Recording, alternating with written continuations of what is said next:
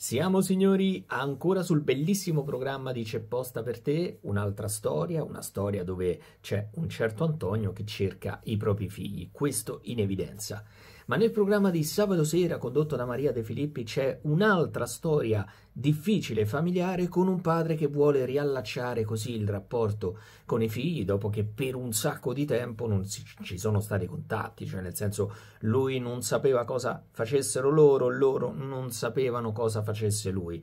E quindi come sempre in studio si registrano grandi tensioni, grandi emozioni particolari con le persone che si mettono a nudo, perché è questo poi alla fine il programma, di fronte alle telecamere, quindi averci anche un certo coraggio di, di, di affrontare le, tutte le telecamere, perché sappiamo poi che, cioè sappiamo chi ci va al programma sa che poi eh, lo vedranno tutti quanti, quindi è anche un atto di coraggio questo. E allora eh, si spera sempre che poi ci sia una riconciliazione per quanto riguarda queste storie, ma non sempre sappiamo che è così. È successo ad esempio la settimana scorsa, quando il giovane Leonardo aveva chiesto scusa al nonno Alberto dopo averlo insultato pesantemente.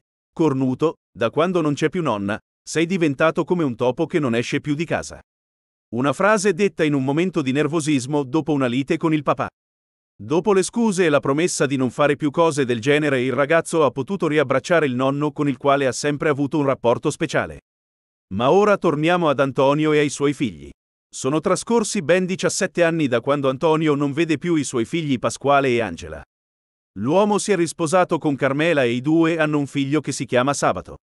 Dopo la separazione dalla prima moglie Antonio ha tentato di mantenere i rapporti coi figli, all'epoca adolescenti.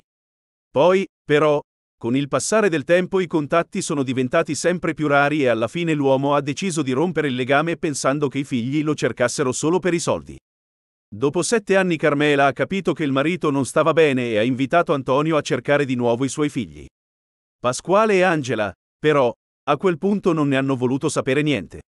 Così Antonio e Carmela, affiacanti dal figlio Sabato che voleva conoscere i suoi fratelli, hanno chiamato Maria De Filippi.